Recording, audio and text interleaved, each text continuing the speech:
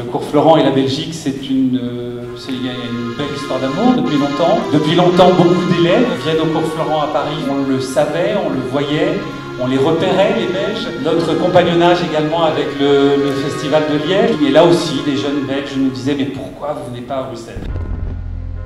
Que offre la possibilité d'une école privée, c'est le fait de pouvoir commencer à tout âge, en ayant eu un parcours avant qui n'était pas du tout lié au théâtre. J'ai une passion, j'ai un rêve et euh, j'ai envie de m'y confronter.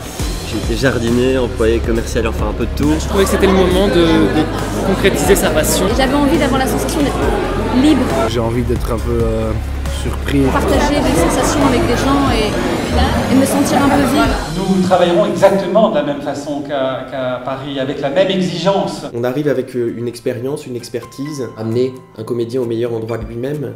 On a toute cette histoire derrière nous. Nous avons amené dans nos bagages quelques petites surprises, quelques jeunes acteurs qui viennent de finir leurs études euh, au cours Florent. Ce sont des acteurs accomplis qui ont été repérés également par beaucoup de professionnels. Mais non, c'est à nous de trouver les talents qui sont en vous, autres, ceux qui seront metteurs en scène, ceux qui seront auteurs, ceux qui seront directeurs de théâtre. C'est la valeur ajoutée euh, euh, forcément unique que le cours Florent peut apporter euh, à Bruxelles. Si vous êtes gourmand d'auteur, si vous êtes gourmand de texte, si vous êtes gourmand de- d'aventure, d'expérience, je crois que c'est une école qui va répondre à, à vos souhaits de gourmandise.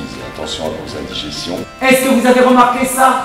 Comme moi Qui? Vous pouvez même vous autoriser. Qui? Travailler avec des créateurs belges francophones, euh, belges néerlandophones, avec des Français, mais aussi euh, avec des Européens, et d'être vraiment euh, à l'image de la ville.